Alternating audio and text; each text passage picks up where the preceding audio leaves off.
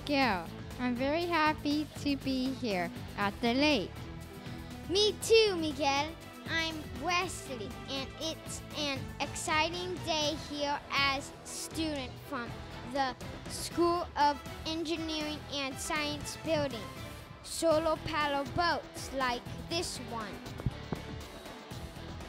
Maybe one day I'll build one too. Sounds fun.